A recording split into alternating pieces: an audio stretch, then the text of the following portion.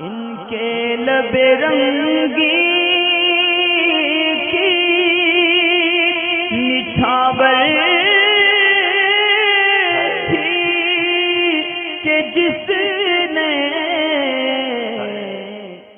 अगर कपड़ा मोड़ने में नमाज़ मकरू तहरीमी है तो फिर एक वीडियो उन्होंने देखी थी, चैनल मसाले शरीफ की उसमें आस्तीन को अगर फोल्ड कर लेंगे, एक बल तो नमाज़ मकरू तहरीमी नहीं होगी, जबकि पायचे को फोल्ड करने से नमाज़ मकरू तहरीमी होगी। तो कपड़ा मोड़ना तो मोड़ना ही है तो फिर इन दोनों में फ़र्क क्यों है?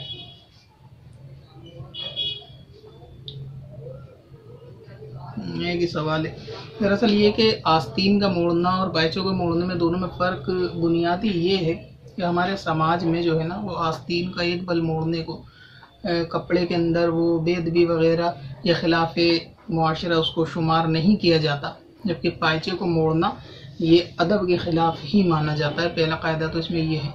दूसरा ये कि आस्तीन को मोड़कर नमाज़ मकरू तहरीमी हो सकती है, और उसकी सूरत यह है कि अगर आस्तीन को आधी कलाई से ज़्यादा फोल्ड कर ली जाए, यानी ऊपर इतनी मोड़ दी जाए कलाई को कि पूरी आस्तीन यहाँ तक अगर किसी ने चढ़ाई और इस तरह नमाज़ पढ़ी, हाथ खोल के और ये जानबूझ के फोल्ड करे हैं तो इस सूरत में उसकी भी नमाज़ मकरू तहरीमी होगी।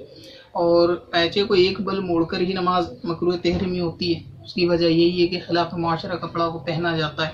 अक्सर जो है ना, अमूमन आप देखेंगे कि अगर कोई शख्स लिबास पहनेगा और वो पैचे को मोड़ के किसी बाज़ार, शादी वगैरह में वो नहीं जा सकता। उसको अगर पैचे फोल्ड करके बारात में जाएगा तो बहुत अजीब लगेगा, किसी महफिल में जाएगा तो बहुत अजीब लगेगा। उसको लोग दूर से देखकर ही अजीब अजीब से, यानी मुँह बनाने या बातें बनाने लग जाएँगे तो ये आपको मालूम ही है। तो ऐसा पैचों के साथ ही ख़ास है।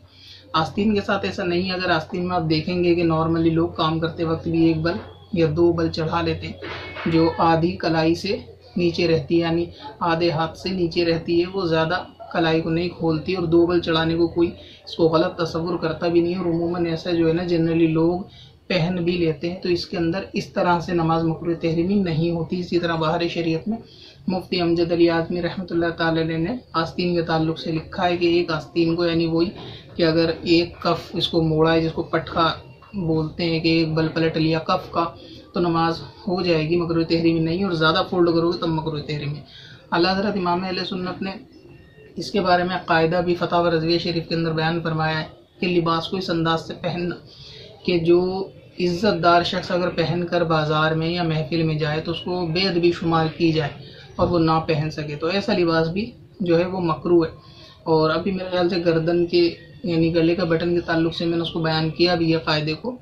तो इस तरह से अगर वो शख्स पहन के बाज़ार में जाता है, कि जहाँ माशरे में, समाज में निकलेगा तो उसको बेदबी तस्वूर किया जाएगा। तो ऐसा लिबास में मकरू होता है। लिहाजा आस्तीन को एक बल लपेट के जाने को कोई बुरा नहीं समझता। अक्सर लोग कर भी लेते हैं।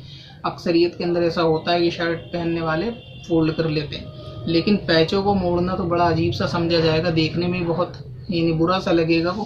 तो इसीलिए ऐसे लिबास को पैचों को एक बल मोड़ने पे मकरू तहरीमी का हुक्म है। पत्थर लाले पुरनवार